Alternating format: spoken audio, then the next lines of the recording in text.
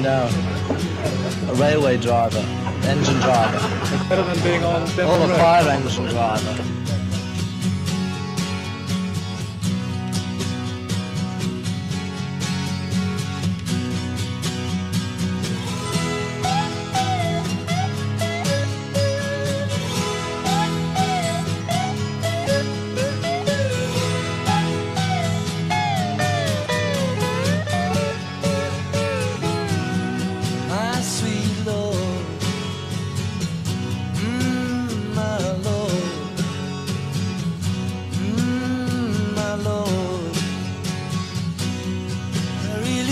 see you.